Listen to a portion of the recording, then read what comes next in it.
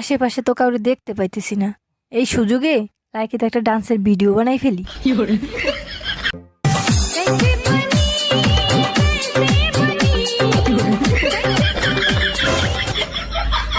ফেলি